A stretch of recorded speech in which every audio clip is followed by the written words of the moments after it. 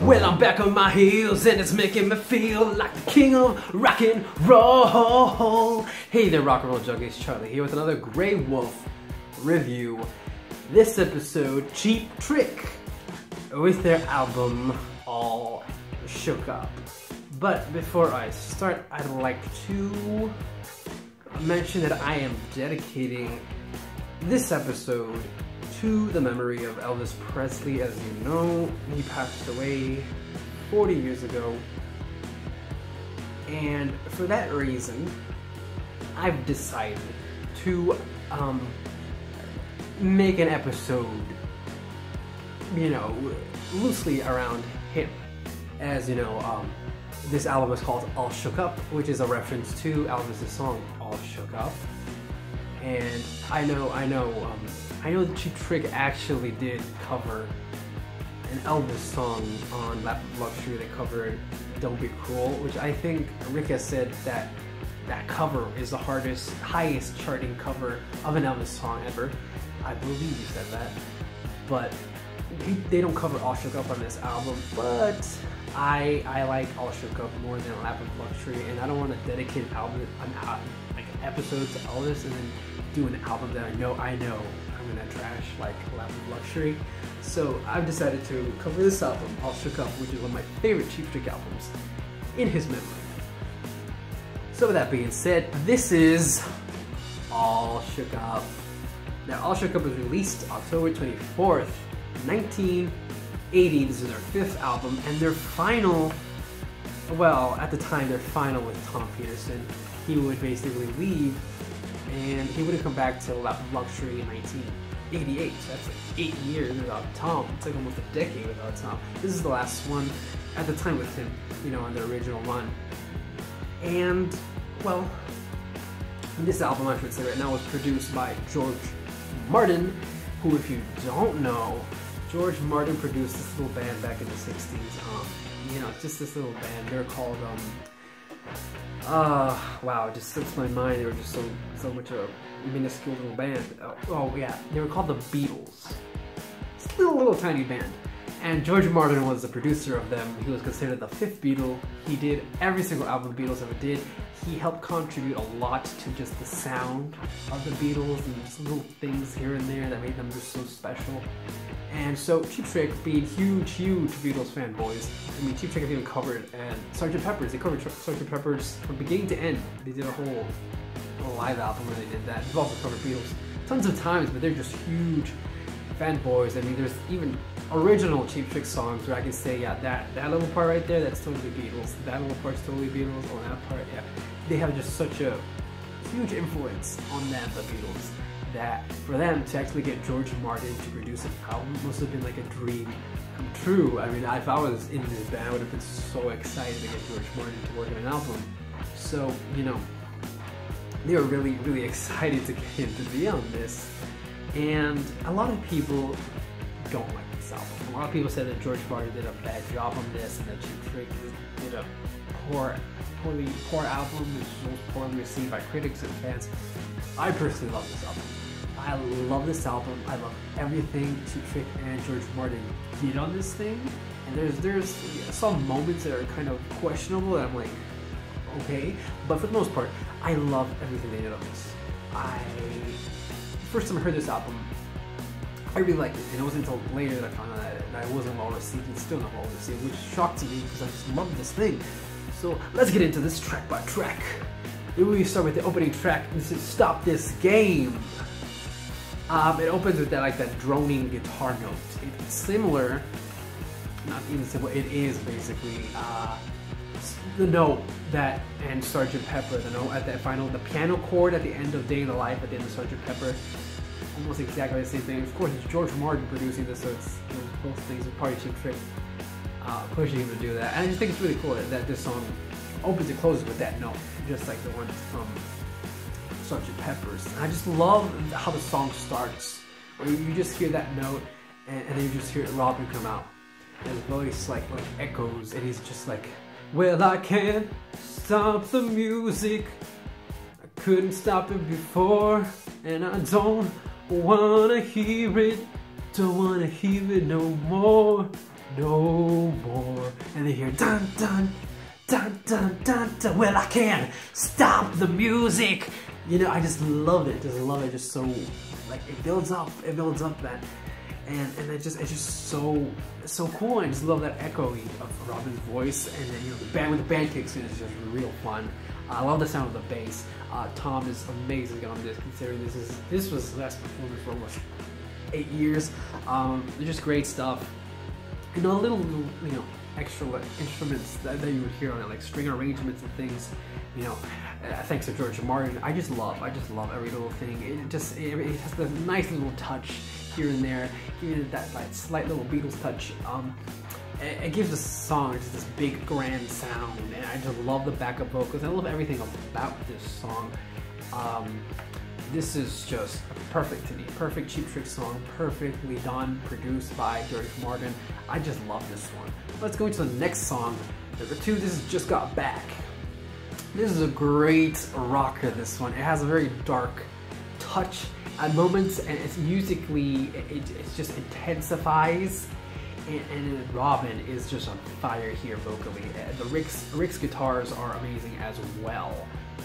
Um, it just it's just a great song, and you know, it's short, but it's to the point, it's just so well done. It's just concise, very good, just rock and roll song, very great rocker. I just love it. Just got back. Let's go into number three. This is "Baby Loves to Rock." This is another rocker, as I said. I just love the lyrics on this one. Very much in the style of an old school just rock and roll tune. Uh, great drums by Bon Bunny Carlos and you know guitars and bass are fantastic as well. Um, I've seen them. I've seen. Oh, well, last year I saw Cheap Trick twice. I saw them two times in one year. I love Cheap Trick. So the first time I saw them, they didn't play this. The second time they did play this, and I got so excited because I love this song. Anything on this album I love.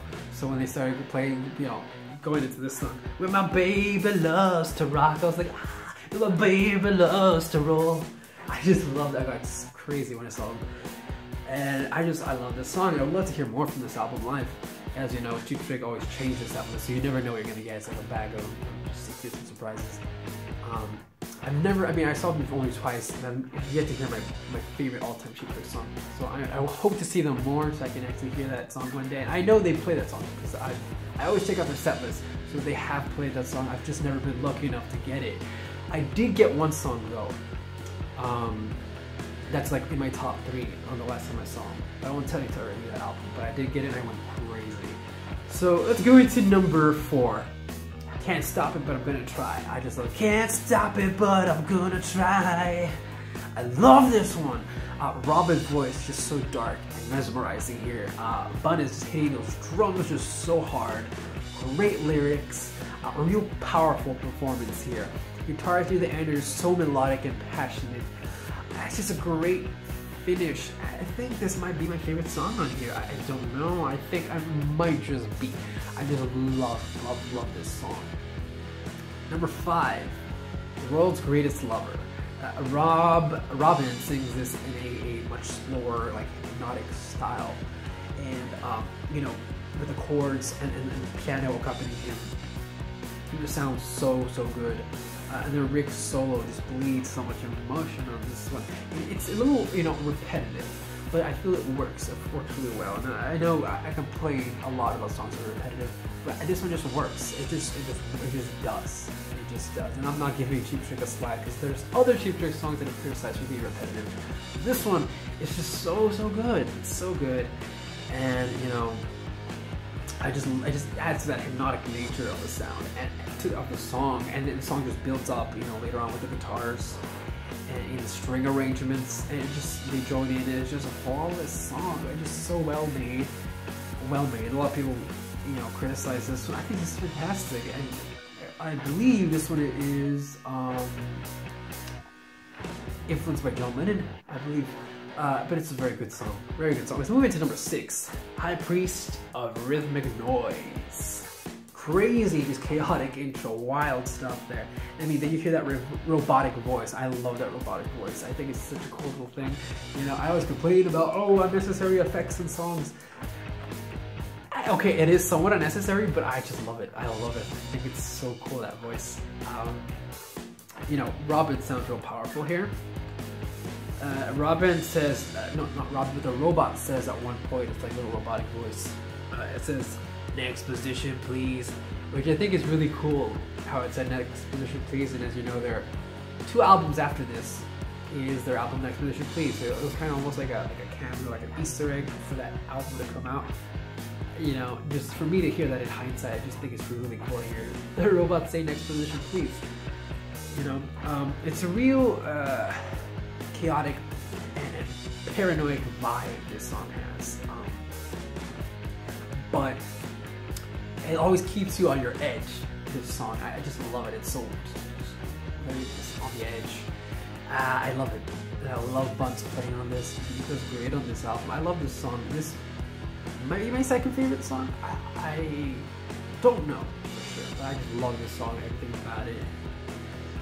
Robin, crazy. Just I love it. I loved it. So let's go into number seven. Love comes tumbling down. Uh, I believe this one's about Bon Scott, AC/DC, who had, at the time recently passed away. Um, it's a fast-paced, heavy rocker. I love it. Bunch drumming is on all cylinders here. Uh, fun lyrics with Robin, just uh, you know singing real fast.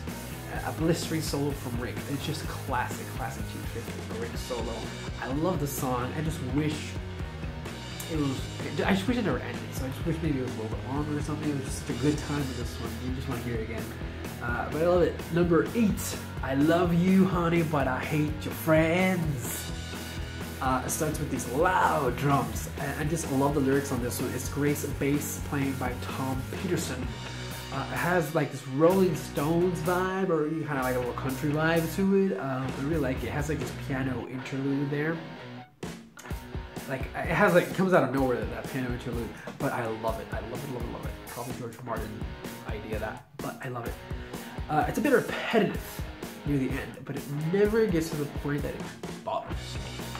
You know, I feel repetitiveness can work in songs if it's done well, and it's done very well here.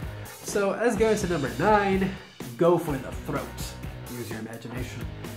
Oh man, it has an electric piano and a glockenspiel on this. And as you know, that's a glockenspiel, wooden thing with the little little bars you hit. Like, it, that's featured on the song, and I think it's pretty cool. Again, a little unnecessary, but it adds a nice touch to it. You know, George Martin knows what he's doing. He's not like other people like Mutt Lange, who I complained in the Hysteria review. I think this guy knows what he's doing. George Martin, I mean, he's made some of the greatest things of all time. And a great run with the Beatles, a whole discography. But, you know, I digress.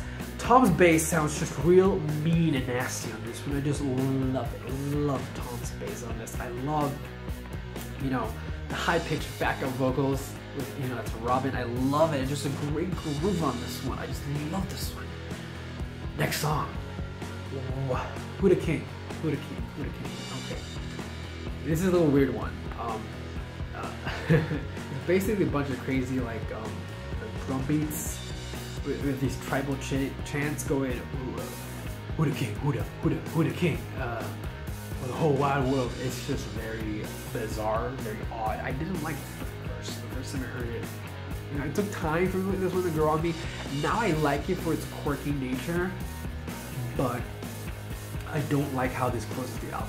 I, I know how albums have a very strong finish and it's just so bizarre, so out there, so that it doesn't really accomplish that, you know, big grand ending to the album. It's just this random thing that I like because of its quirkiness, but it doesn't, you know, leave that impact on me. Which is very unfortunate because this album's going on a good run. And even though I like the song now, it's it is a complete filler. It is a complete filler. and It's very sad to end this album on filler. But you know, what can you do?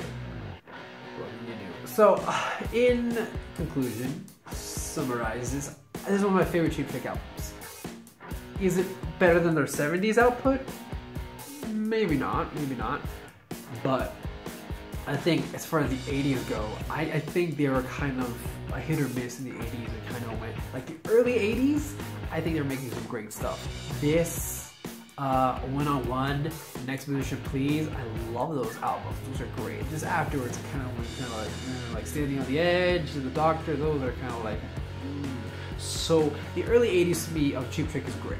And this is the early 80s, so I really love this song. I really love everything that was done on this album. I love George Martin's production here. I just, I love everything that was done on this thing. And I think Cheap did a great job.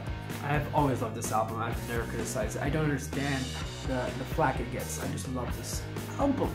That's that's it for my review of the album. So let's move on to my pick of the. For my pick of the vid, I will be picking the album Run Devil Run. That is a solo album by Paul McCartney from 1999. And again, with the Elvis thing, I'm gonna try to tie this in. Well, if you know, Run Devil Run is a album consisting mostly of covers of old 50s, uh, you know, rock and rock and roll song covers. And on this album is uh, Paul McCartney doing a cover of All Shook Up, which I love his cover, man. It's so so good. And see, see, I found a way to tie in Elvis and the Beatles like all at once. So you really check this one out. It has Ian Paice on drums from Deep Purple and David Gilmour, my personal favorite guitarist ever, on guitar on this one, on this album. And it's just fantastic sound, great. You know, I'm not a big fan of cover albums. I really don't. But Paul McCartney just did such a good job on this one. But such a good job. And there's even some original new tracks on this. And everything is just so well done, so amazing. And of course, I'm recommending this one mostly for the Elvis cover, but just every cover on this is great. Great album. If you've never heard it, you gotta check it out. If you have heard it, hear it again, you know, in honor of Elvis Presley, the king of rock and roll. You know, because look, if you don't like Elvis, at least you have to respect and acknowledge just his impact on rock and roll history. And, you know, I like to remember, remember him, you know, 40 years after his passing. So this episode is for Elvis. That being said, thank you for watching. As always, you can find links in the description to these albums I talk about, if I can find them on YouTube. I'll put them down there. You can check them out for yourself. You can also purchase them in the future if you enjoyed them to support the artist. And as always, that being said, remember, stay metal, stay devil, stay evil. Alright.